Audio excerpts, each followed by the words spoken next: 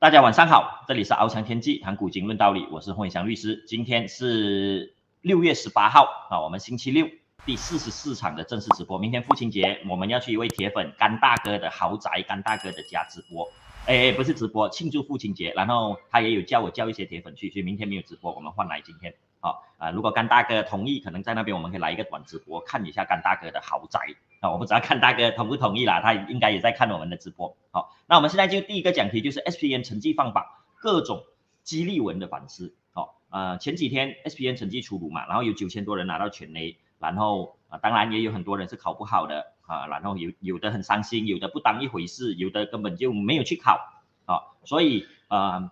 这些学生自己考得好，考不好的，嗯，老话一句啦，考得好恭喜你，考不好。啊，你再接再厉，再努力了哈，这只是人生的一个阶段啊。如果你是放弃的啊，那这个等一下我们要讲。但是，嗯，我们当成绩出来哦，你可以看到有很多啊，Facebook，尤其是 Facebook 哈，我在 Facebook 看到很多的读呃脸脸书朋友，Facebook 朋友，他说他就晒出成绩单，说当年我的成绩多差，甚至完全没有出席，没有考试啊，全部是 T H，连 G 九或者是 F 九都不是。哦，你是 T H 根本都没有出席，结果我现在怎样怎样啦？有的是做生意的说我现在是大老板啊，我的老师还我以前骂我的老师现在还在教书啦。然后有些啊啊作者啊说我出了以前我华文不及格，或者是我华文拿很差，我现在出了几本书这样子啊，这些激励文啊，当然他们的目的，他们这样子写的内容是想要带出一个信息给大家，成绩跟你的未来其实没有正相关关系。不是必然关系，不是你成绩好，你未来一定好；你成绩差，未来一定差。这个看法肯定是对的。所有人必须要明白哈，大学、中学、小学的成绩只是人生的一小部分，啊，嗯，未来还有很多很多事情要做，但这个一小部分也是非常重要的部分哦。这个是我要讲到的啊，等一下后面我会讲到。但是我们先讲这些激励文。我之前有写过关于自杀的，刚才我有提到嘛，哦，有些人会因为成绩不好自杀，有的人因为欠钱自杀，有的人因为爱情自杀，因为在他们的世界观里面，这个事情就是最重要的，哦，这个事情就是最重要的。然后当时有这个自杀潮的时候，啊，有好多人自杀，为情、为钱，然后为成绩，啊，小学生也是有很多人发出同样类似的激励文，就是说我当年几差成绩，然后我现在几成功。一模一样的发出来，我当时就写了一篇文章，我说其实这样子的文章哦，你不是，虽然你可能真的是真心要激励，但是你其实你这样子带出来的文章所带出来真正带出来的意义，并不是在激励这些人哦，啊，而只是炫耀你自己现在有多成功。好，大家想一下，成绩不好的人，当年成绩不好的。是不是必然未来成功可以做作家，可以做大商业家？其实不是嘛，绝大多数呃成绩不好的都属于 B 四十 M 四十哦，因为你至少你晋升为专业人士的这条路就断了啊，除非你后来啊发愤图强，成绩变好啊，不然你晋升专业人士，因为专业人士需要你的成绩啊，需要考核啊，你才可以做到啊，而嗯。在现代社会哦，虽然我们一直强调读书成绩只是人生的一小部分，但是它绝对是一个很重要的通行证哦，很重要的通行证。所以我不希望有人会因为这些激励，我觉得哎呀，成绩是不重要的，所以啊，我不去考，我不要考，我不努力哦，这个是完全不对的想法。除非你是富二代，你的爸爸很强，你等一家很强的公司等着你来，呃。继承等着你来经营，或者是你有一技之长，或者是你有很特殊的才能，或者是你 IQ 很高，你根本不 care 这个成绩。比如你会写 code 啊，呃，你会发明一些 apps 啊，这些像比尔盖茨、像 Steve Jobs 这些人，不然成绩依旧，尤其是中学、大学成绩哈，依旧是你从未来，你在未来从下层社会晋升到上层社会的最佳通行证。所以我刚才有讲啊。考试成绩出来有三种情况，第一种是考得好的，我们恭喜他；第二种是考得不好的，哦，他真的有努力，但是考得不好，我们安慰他，继续努力，不要感到伤心哦，嗯，继续努力，只要你努力，一定会有成果可以跨过去，不要给这次的成绩打败。而且，呃，学业其实你成绩不好，你要升学还是有很多管管道的，比如你 S B N 成绩不好，S B N 不收你，你可以去读读私人的 diploma 嘛，或者是可以去读技职的。呃这些文凭课程哦，所以啊不要呃因为这个成绩不好就觉得哦自己一世人都完蛋了，不要有这样子的想法。还有另外一种是完全放弃的，不 care 这个成绩的啊，这个想法是错误的哈。啊，我们每一个人在每一个人生阶段都有不同的责任，而绝大多数的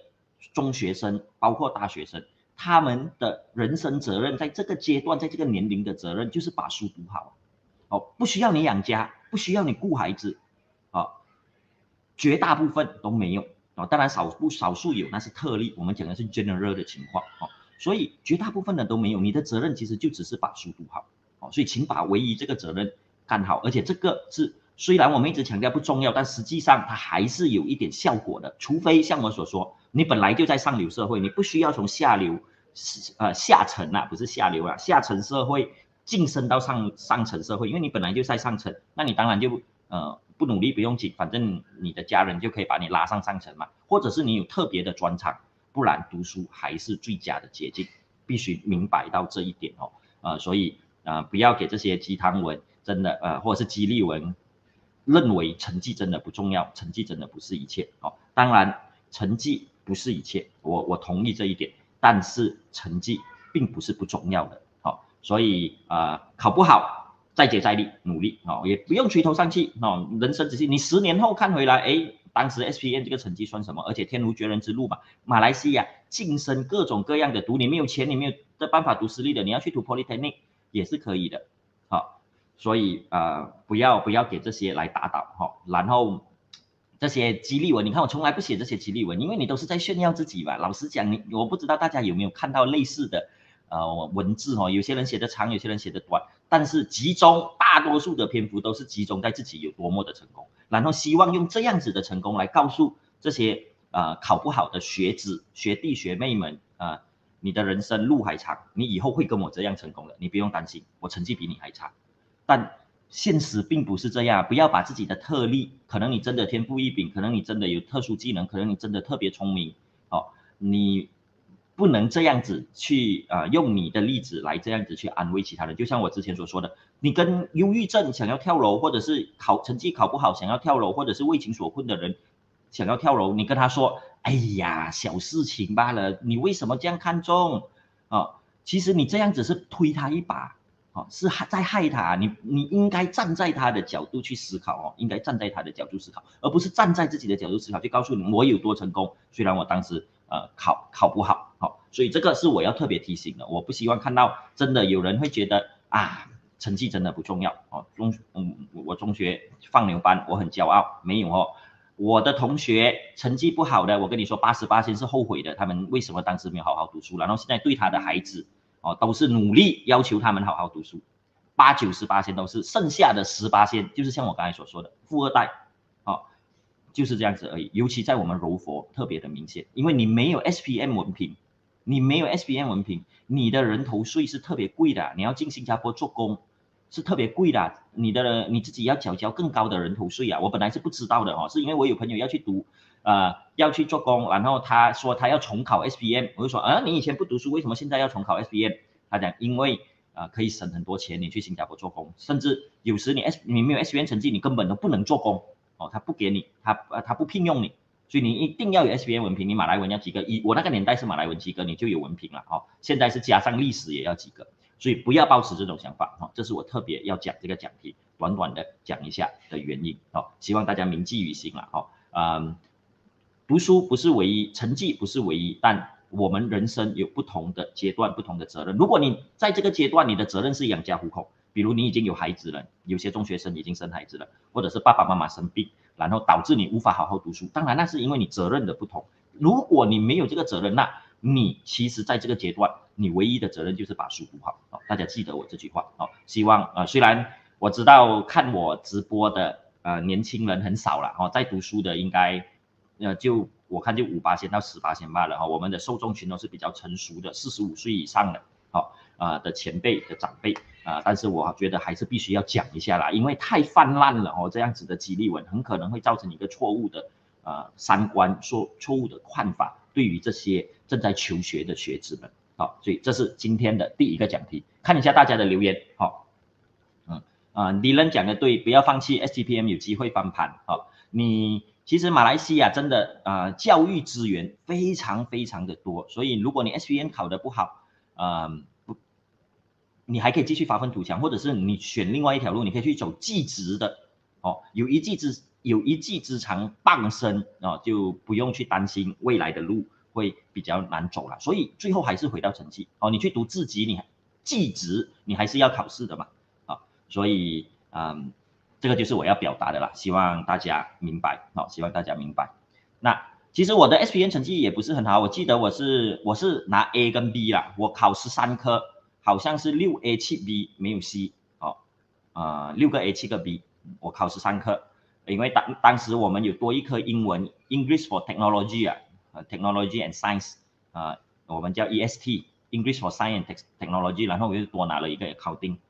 啊，直接讲出来没什么好好好隐瞒的，好，呃，但是这个成绩在我们刚蹦的学校，我是第二名哦，第二名哦，全校我当年考的最好的。然后到我那个年代，我姐姐是大我三岁，还是我姐姐大我三岁嘛？呃，我那个年代，我学校的 record 就是我姐姐哈，我姐姐是我那个年代考的成绩最好，我们学校，因为我们刚榜学校嘛，你要你拿六个 A，像我这样已经是全校第二名了哦。呃，我姐姐是拿九个 A 啊，啊，九个 A 一个 B 啊，好像当时是记录保持着，呃，后来给我的同学呃打破，啊，好像是好像九个还是十个了，我也忘记了，哦，所以啊，我的成绩是这样子，也也不算好，就是中上啦，但是在乡下学校算 OK 啦，哦，所以大家不要啊，不要被这些激励文给。啊，当然他们，我也我不是说他们有意去炫耀哦，我是说他们无意之间，可能他们的 intention 是好的，他们的目的是好的，大家不要以为我在批评他们，我是希望不要有人误解他们的意思，啊啊，可能他们的 intention 是好的，但是别人 get 到的会是你在炫耀你自己的比较多，好，所以我从来不写这样子的激励文，啊，所以希望大家明白我今天要 deliver 的东西，好，那。